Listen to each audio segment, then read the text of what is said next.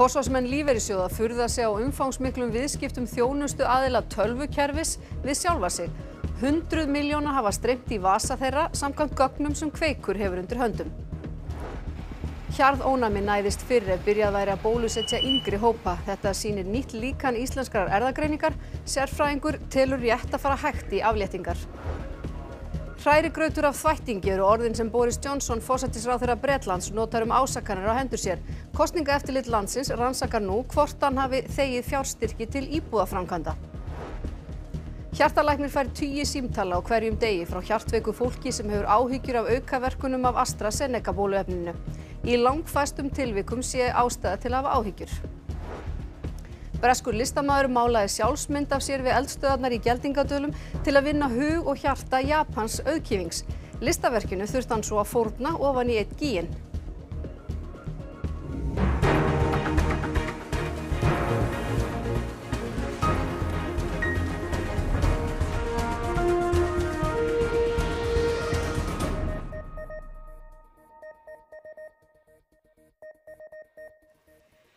Gott kvöld. Rekstur á einu af stærri tölvukerfum íslenskara lífeyrissjóða er í uppnámi eftir að í ljós kom að þjónustu aðili þess hefur rukkað sjóðina um vinnu sem efasemdir eru um að standist lög. Gögn sem kveikur hefur undir höndum sína hvernig 100 miljóna króna hafa streymt út úr félagi sem annast rekstur tölvukerfis í eigu tíu sjóða. Hugbúnaða fyrirtækið Innit annast þjónustu kerfisins sem heitir Jóakim.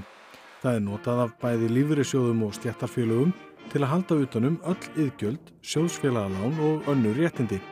Í gögnum sem kveikur hefur og fjallaverður um í kvöld kemur fram að Innit á í hundraða miljóna viðskiptum við sýsturfélag sitt og þrjú félög í eigu líkil stjórnenda. Ebling er eitt stærsti notandi kerfisins. Það eru félagsmenn í stjættafélögum og, og sjóðfélagar í lífeyrissjóðum sem á endanum borga þennan brúsa. Fjármagnin kemur bara þaðan og, og hverkið annars það frá. Engar skýringar hafa fengist á umfangi þessara viðskipta eigenda innit við sjálfa sig. Hvorki þegar kveikur hefur leitað eftir því nýja lífyrirsjóðunir. Það er bara eins og eitru í okkar beinum að það sé verið að flækja rekstur svo mikið að það sé ekki hægt að horfa bara á reksturinn og átta sig á því hvers eðlis hann er. Sko. Það vekur tortrygni á okkar mati þegar að svona viðskiptu stóra aðal og raunbervitni eru færð í þremur mismunandi félögum og í gegnum annað félag og það er eitthvað sem við bara viljum ekki sjá. Nánar verður fjallaðum málið í kveik í kvöld.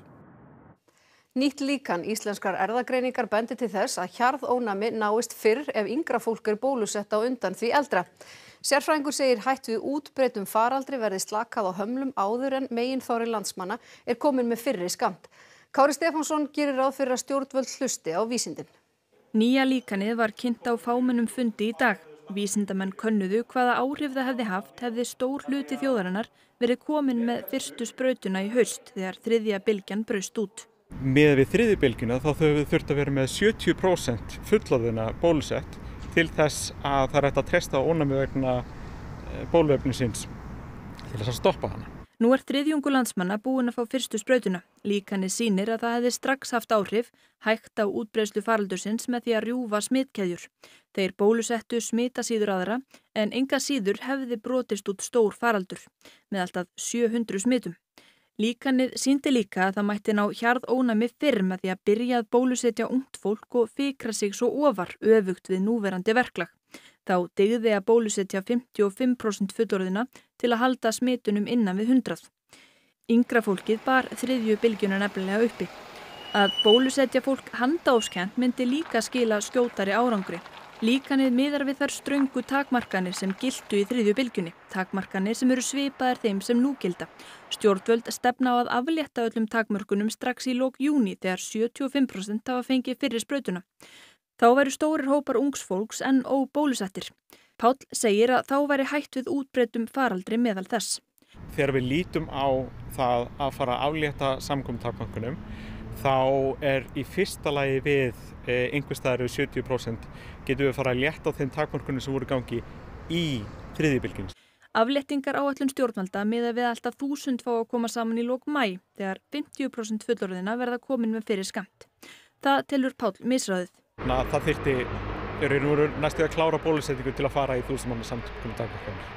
Forsætisráðara og heilbreyðisráðara sátu fundin og forstjóri íslenskrar erðagreiningar vonar að stjórnvöld aðlægi afléttingar áallun sína þessum nýju tíðundum. Ég held í fram að svo það stipulag hafi byggst að þeirri þettingu sem var til staðar í heilbreyðismáraðunituru. Nú erum við búin að útfæða þeim nýtt mótel til þess að vinna eftir og ég er handið sem að þau komið til að taka marka á því. Allt annað mjög ósynsilegt.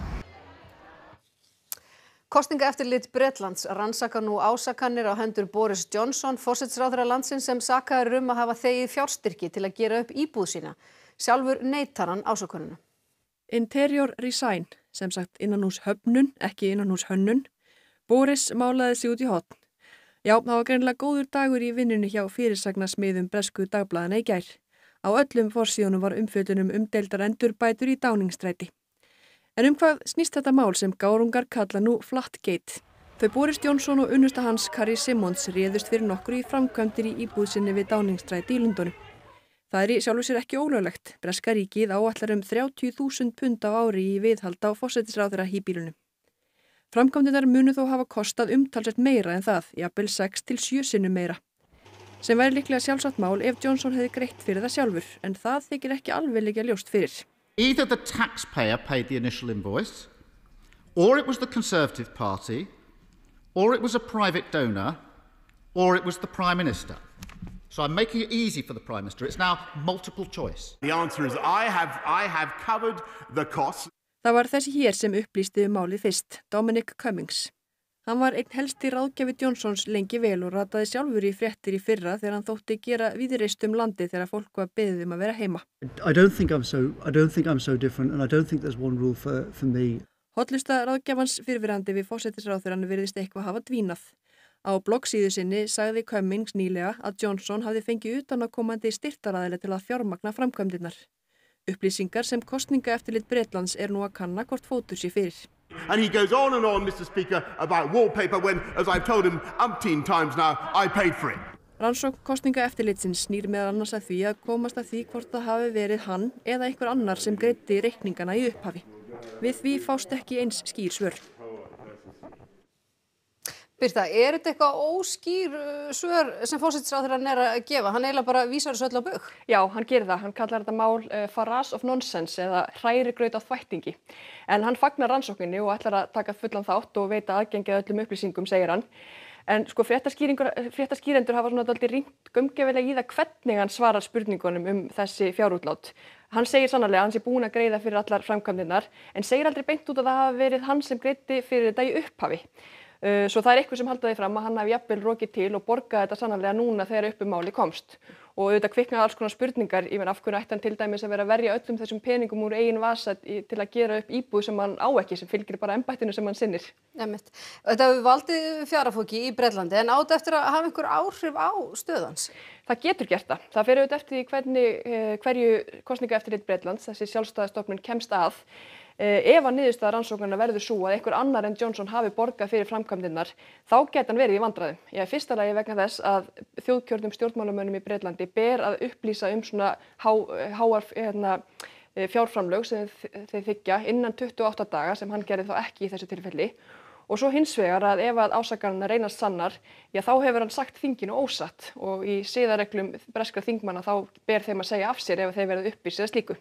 En kostninga eftirliti það hefur núna bara hafið þessa rannsókn og það kemur bara ljós, við býðum bara eftir þeirra niðurstöðu, en það verður líklega allavega eitthvað meira mátt, mæna, rætt um þetta mál, eh, flatgate eins og þau kalla það, í Breitlandi og líklega víðar, þanga til.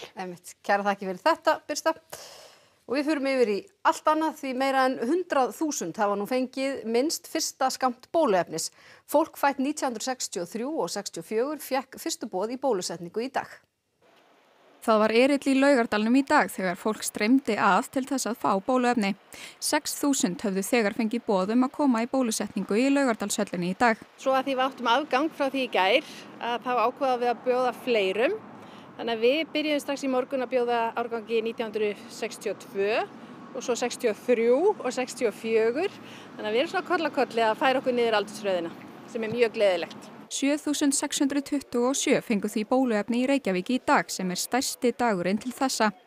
Mikill gangur er í bólusetningum á landinu og hafa meira en 100.000 nú fengið minnst fyrsta skamt.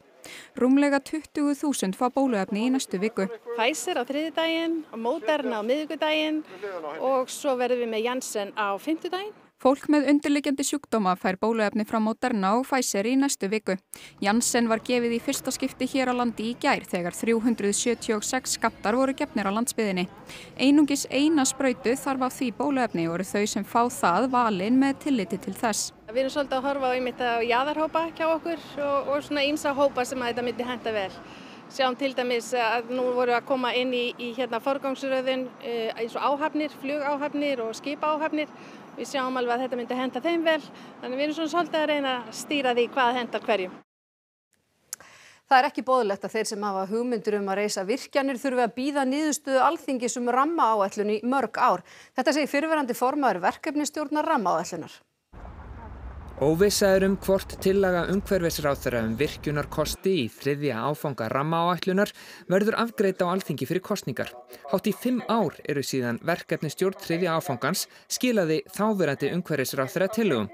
Núverandi ráþara lagði þær fyrir alþingi óbreyttar. Telur þú að það erði hægt að ná sátt í nefndinu um að afgreiða tillöguna eins og hún likur fyrir? Ég er hrættur um að það verið snúið og það er þá fyrst og fremst sjónamið sem stangast á innan ríkistofnaflokkana sem orsaka eða svona eru til um þess matsmýns en ég tel allar líkur á að það væri hægt að ná svona meiri hluta sátt um niðurstuðuna innan þingsins. Eitt af því sem að gerist semst, við þessa töf er náttúrulega ákveðin óþreyja sem er skiljanleg. Það, það er hérna, mjög vond fyrir þá sem að allt til dæmis, eða með hugmyndur um að virka eitthvað staðar, að, að sjá fram á það að þeir fá enga nýðustöði fleiri, fleiri ár. Það er náttúrulega ekkit bóðulegt. Austurgilsvirkjun sunnan Drangajökuls er einn af mörgum virkjunarkostum í þriðja áfanganum. Verkefni stjórn lagði til að Austurgilsvirkjun færi í orkunýtingarflokk og þannig fórum fyrir þingið. Það er beinlinni stefna vinstri græna en það ekki að, venda hálandi á vestfjörðum. Jú. En þetta samrýmist ekki þeirri stefnu, er það? Já, ég, eins og ég segi, þetta er, er, er, er áætlun sem að gerir ráð fyrir því að það séu ákveðni kostir í nýting og ákveðni kostir í vernd. Um, það þýðir ekki endilega verið ráðist í þá, eins og við vitum, þó að það er endi í, í nýtingaflokki. Og fjallaverður um tafir afgreðslu ramma áætlunar í kveik klukkan 8 í kvöld. Hjartalæknir fær tíu símtala á dag frá hjartveiku fólki sem hefur áhyggjur af aukaverkunum af bóluefni AstraZeneca. Almennt sé þó ekki ástæða til að hafa áhyggjur. Hjartalæknar hafa fengið fjölmarkar fyrirspurnir frá hjartveiku fólki sem hefur áhyggjur af aukaverkunum af bólusetningu. Símringingar til hjartamiðstöðarinnar í Kópavogi telja nú tugi á dag og hefur fjölgað mikið með stórum bólusetningadögum síðustu vikna. Við hefum fengið mjög margar fyrirspurnir síðustu dag og það hefur verið heilmikið, heilmikið álag bara tengt þessu, heilmikið viðbót, viðbótar álag. Fólk er að ringja og hefur áhugjur. Axel segir að hér um bil allar fyrirspurninnar varði einungi spóluefnið frá AstraZeneca og hugsanlega hættu á sjálfgæfum blóðtöpum. Þessi aukaverkun hefur til dæmis orðið til þess að norðmenn og danir hafa hætt að nota bóluefnið. Hér á Íslandi er miðað við að AstraZeneca sé ekki gefið fólki undir 60 eða þeim sem teljast í áhættuhópi. Þetta eru fólk sem er með ákveðna sjúkdóma, alveg blóðsjúkdóma, blóðflöguvandamál og svo er þetta líka fólk sem hafi fengið það sem er kallað sjálfsbrotnir blóðtapar sem eru blóðtapar bláaða megin í, í æðakerfun okkar. Lang flestir okkar skjólstæðinga geta fengið AstraZeneca bólefni og, og við teljum að þeir eru bara að þykja það. Þau sem falla undir þennan áhættuhóp eiga að vera á skrá og þar að leiðandi ekki bóði bóluefni frá AstraZeneca til þess að byrja með. Auðvitað verður maður í hverju tilvikið að sjúklingur ringir og spyr, þá verður maður að fara í gögnin til þess að gangur skuggum að þetta sé allt saman lægi. En langt oftast er þetta bara að stappa stálinn í fólk og segja að það er ekkert hjá þér sem gerir það verkum að maður þurfi álíkta sem svo að eitthvað annar bóluefni sé betra fyrir þig. Þannig að farðu bara þauðu þetta. Ef þú kýrst að gera það ekki, þá bara mætir ekki og þá verður kallað í síðar og þú munt fá eitthvað annar bóluefni. Þrjú smitt greindust utan sótt hver í gær sem ekki er hægt að rekja til þekktra hópsíkinga. Yfirlörglu þjótt fordæmi rasísk skilabóð sem smittaðir hafa fengið. Fólk þykkur bóluefni AstraZeneca ekkert síður en önnurs. Tíu kórnuveru smitt greindust innanlands í gær þar af þrjú utan sóttkvér. Hátt í 200 eru nú í einangrun og á 500 í sóttkví eftir að hafa umgengist einhvern með sjúkdómin. Tvö smitt greindust á landamærunum í gerð. Víðir Reynisson yfir lauruglu þjóttn hóf upplýsingafund dagsins á að greina frá því að börn og fullornir sem tengjast hópsmittum sem upphafa komið nýlega hafi sum hver fengið öfga full skilabóð. Rasísk og mjög ljót skilabóð, uh, líka verða fyrir bara nánast einelti út á götu, engungu að því verist vera vegna þess að koma frá tilteknu landi. Ekki dæma alla fyrir einhvað sem að örfáir hafa gert. Þau sjö sem voru í sótkví við greiningu tengdust hópsmittum síðustu daga í Reykjavík og Þorlákshöfn. Smittin þrjú sem greindust utan sótkvér hafa aftur á móti ekki verið rakinn til fyrri hópsíkinga og frekari rakning stendur yfir. Ekki er hægt að segja að við höfum náðu utanum þau smiti eða það er hópsíkingar sem við höfum verið að greina undanfarið og ákveðið áhyggjöfni að við erum enn að greina fólk sem að virðist ekki hafa tengingu við fyrri smitt. Þórólfur segir ljóst að veiran sé á ferðinni í samfélaginu og lítið þurfi til að hópsíkingar blossi upp. Hann brýndi fyrir fólki að fara í sínatöku verðið að vart við einkenni en telur smittin ekki kalla á hertari aðgerðir að sinni. Í gildi síu tiltölulega strángar aðgerðir sem haldi faraldrinum í skefju. Það þarf bara að fylgjast áfram grann með og, og grípa þá til viðeigandi ráðstafana. Í dag og í gær hefur verið bólusett með bóluefni AstraZeneca. Fólk verðist ekki trættara við það en önnur en um 80% þeirra sem voru bóðuð í bólusetningu með efninu í gær mættu. Og er það svipa hlutfall og hefur sést við hinn bóluefnin. Nýtt baðlón, Sky Lagoon, verður opnað á Kastnesunni í Kópavogi í fyrramáli. Kostnaður við verkefni nefnur 5 miljardum króna. Frankandastjórin segir að hugmyndin sé að skapa griðastað á miðju höfuborgarsvæðinu. Sky Lagoon er í stuttumáli bara upphefð íslenska baðmenningar og íslenskar náttúru og íslenskar uh, arkitektúrs og hérna ætlum við að bjóða fólk velkomi frá með morgundeginum. Það var stór hópur hönnuða sem kom að hönnun Sky Lagoon. Það sem vekur ekki hvað síst aðtegli í hönnun þess er 75 metra langur svo kallaður óendanleika kantur sem skapar þá tilfinningu að hafið og lónið renni saman í eitt. Það er búið að opna mörg baðlón víða um landa á undanfjöldum árum. Hvernig er þetta ólíkt hinnum? Hérna erum við að bjóða upp á uh, bæði uh, áhrif á líkama og sál og áhrifin á líkamann kemur í gegnum sjöskrifa spaferðalag sem er innifalið öllum miðum og það er algjört æði en, til, en að auki þá bara þess að útsinni og ró, róin að horfa á sjóin og kyrðin í miðri höfuborginni hún veitist þér svo ótrúlega gott hugaró og það er svo gott fyrir okkur núna að fá aðeins uh, frið frá amstæði dagsins. Það eru mörg gufuböð á Íslandi en þau eru eflaust ekki mörg sem að skarta betra útsýni en þetta hér. Hér er þetta að horfa á kvöldsóluna til vestus, hér er þetta að horfa yfir Bessastæði og á kvöldin er eflaust þetta að sjá eldgósið í Geldingadölum. Framkvæmdinn kostaði um 5 miljardar króna. Að verkefninu stendur fyrirtækið Nature Resort EHF og kanadíska fyrirtækið Pursuit sem kemur einnig að rekstri Flyover Iceland. Til að byrja með vinna um 60 manns í lóninu en Dagný segir að þegar Sky Lagoon verði komið í fullan rekstur verði stöðugildin um 110. Aðtegli vekur að lónið er ekki ætlað ungum börnum en það er 12 ára aldurstakmark. Í mæ kostar stakur aðgangur 5.990 en eftir það hækkar verðið í 8.500 krónur. Dagný segir að markkópurinn sé bæði Íslendingar og ferðamenn. Hafið ekki ágjör af að opna svona staði miðum heimsfaraldri? Erum við ekki að vonast til þess að við séum að stíga uppur ánum? Við ætlum að opna bara rólega, rólega heitum og bara með virðingu fyrir ástandinu. Uh, en við bara vonumst til þess að sumari verði þetta aldrei gott, það kannski fer sent af stað en fer hratt af stað þegar allt fer af stað. Breskur listamæður reynir að vinna hilli japansks auðkýfings í vonum að fá uh, með honum far út í geim. Til að vekja aðtegli á sér kom listamæðurinn til Íslands og framkvæmdi listrannan gjörning í Gjaldingadölum. Max Denison Pender hafði verið valinn til að mála keppundur Breitlands að olimpíuleikunum í Tókjó en fjöldatakmarkanir vegna koronavirunar komu í vekk fyrir það. Þessi stað hélta til Íslands og undarfarna vikur hefur að mála Íslands landslag. Að sjálfsögðu vakti eldgósi í geldingadölum aðtegli hans. Hann hélt hangað upp eitt kvöldið og málaði þar sjálfsmynd við afar krefjandi aðstæður. And it was windy and it was gassy and it was hot and it was at night time so it was glowing and it was crazy um, and the wind was blowing and shaking the easel uh, but yeah, I had to be quick, I had to get the job done. Múndering listamannsins er harla óvenjuleg en hann klættist forláta geimbúningi. Hann er til þess fallin að vekja aðtegli japansks auðkifings, Yusaku Maezawa að nafni. Sá hefur unnið sér það til fræðar að ætla út í geim og umhverfist tunglið eftir tvö ár og hefur líst eftir átta einstaklingum til að fylgja sér þangað. Max vill slást í þann hóp og verða fyrsti listamæðurinn til að fara út í geim. Ekki er hægt að segja annað en að málverkið hafi tekist vel, ekki síst í ljósi þeirra aðstanna sem það var mála við. En gjörningnum var þar með ekki lokið. Hið endanlega markmið listamannsins var að fljúa málverkinu ofan í eitt gíin við Geldingadali. Why would you destroy an art like that? I'm going to destroy it because of NFT. It's a new thing uh, where you uh, turn your painting to a code and you uh, you can only own the code on on the uh, Bitcoin. It's a Bitcoin thing. So basically, you have to destroy the physical painting. And if I'm going to do it, I'm only going to do it once. I'm going to do it the right way, and we're going to put it in the the volcano. Eftir að skila bóðin til japanska auðkivingsins voru komin á málverkið var ekkert annað eftir en að fljúa málverkinu ofan í gíin.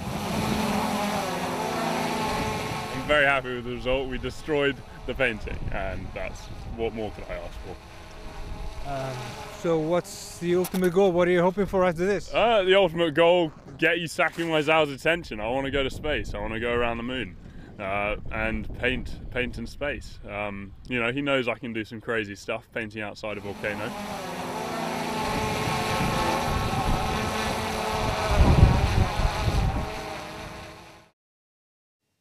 Já, hérna.